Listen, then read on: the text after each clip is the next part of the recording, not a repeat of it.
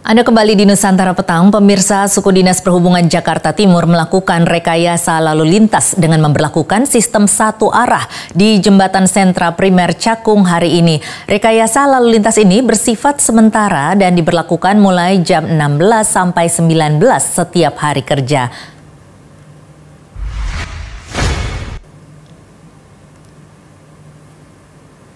Kebijakan ini ditujukan untuk mengurai kemacetan di ruas jalan layang tersebut, terutama pada sore hari. Kemacetan di wilayah ini lazimnya dipicu oleh penyempitan pada on-ramp atau segmen jalan masuk ke jalur utama jembatan sentra primer dari arah Pondok Kopi menuju Pulau Gebang.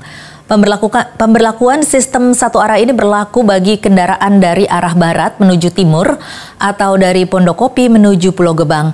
Sedangkan kendaraan dari arah timur atau Bekasi menuju barat Jakarta dialihkan. Kendaraan dari Jalan Raya Pulau Gebang tidak bisa lagi melintas langsung melalui jembatan tersebut, dialihkan menuju Jalan Sentra Primer Timur Jalan Cakung Cilincing Timur, Jalan Raya Stasiun Cakung, Jalan Cakung Cilincing Barat, Jalan Sentra Primer, Jalan Dr. Sumarno, Jalan Raya Penggilingan.